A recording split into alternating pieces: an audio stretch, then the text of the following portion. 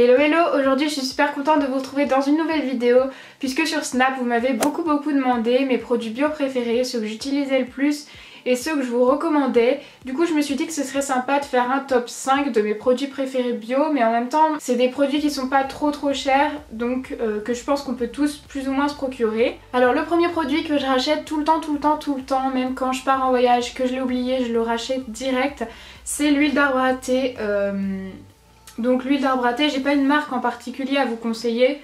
Moi j'ai celle de chez Biofloral. Si vous suivez un petit peu mes vidéos, vous êtes rendu compte que c'est le produit que j'utilise tout le temps, tous les soirs. Euh, donc si vous avez de l'acné, euh, testez-le. Pour moi c'est le produit le plus efficace pour les boutons d'acné. Il va vraiment venir les réduire ou euh, les faire partir beaucoup plus rapidement que s'il n'y avait pas ce produit. Pour moi c'est vraiment vraiment le produit qui est euh, miraculeux pour l'acné. Après ça va pas venir euh, faire disparaître le bouton instantanément mais ça va vraiment venir le réduire et euh, c'est bio, c'est naturel donc c'est parfait. Par contre c'est une huile essentielle donc elle peut être allergisante. N'oubliez pas de faire un petit test euh, quelque part par exemple sur votre poignet 24 euh, ou 48 heures avant de l'appliquer sur votre visage pour être sûr de ne pas faire de réaction allergique. Que ce soit des produits bio ou pas bio c'est mon indispensable numéro 1 euh, de ma routine soin.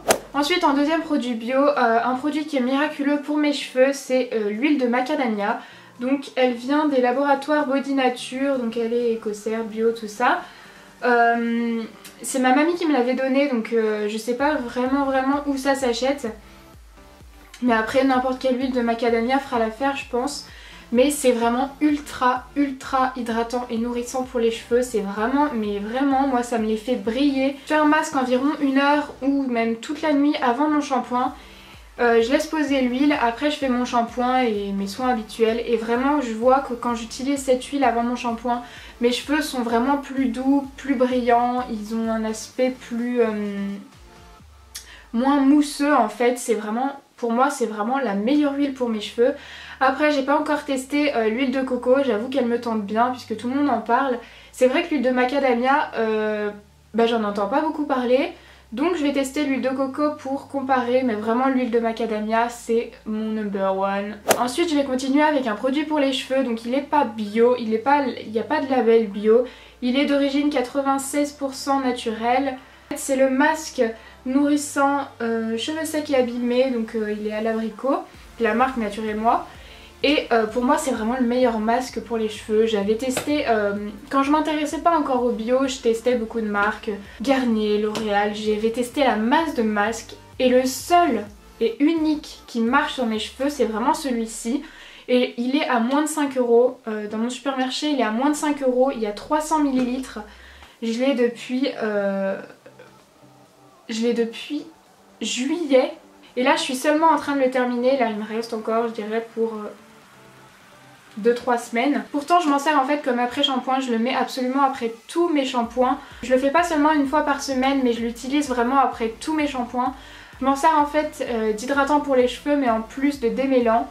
Euh, il n'a pas une propriété démêlante de fou mais alors vraiment il hydrate super bien les cheveux. Je sais pas si je vais racheter puisque mes cheveux sont un petit peu habitués donc je vais essayer de changer mais en restant dans la même gamme parce que vraiment mais ce masque mais oh Ensuite c'est un gel douche, donc c'est vraiment mes gels douche préférés.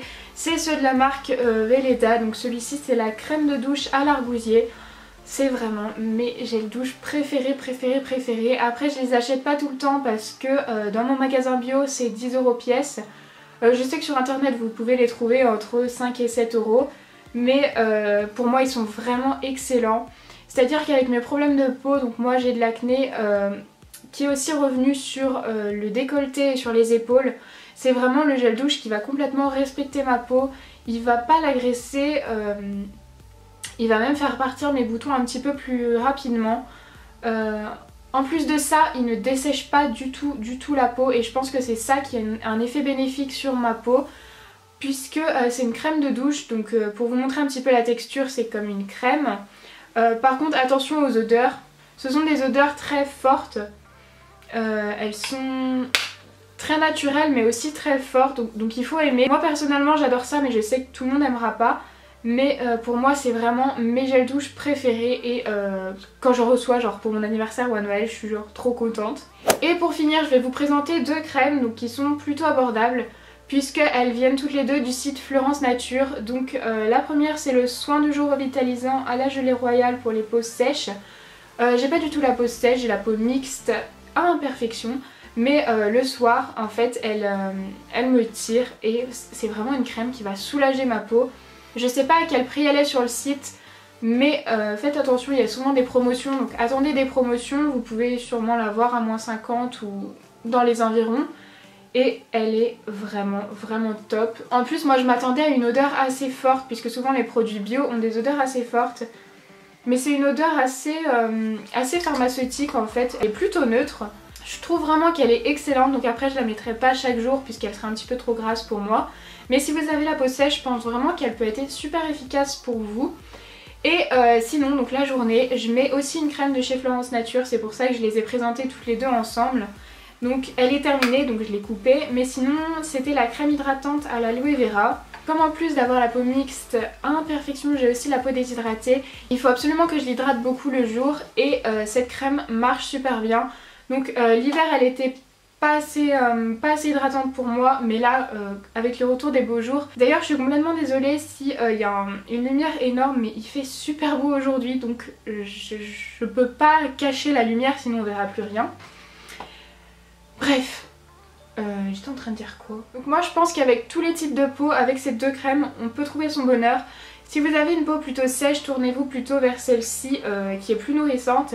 Et si vous cherchez plutôt une crème de jour qui va juste venir hydrater votre peau euh, sans laisser de film gras et vous servir de base de maquillage, celle-ci est vraiment vraiment top.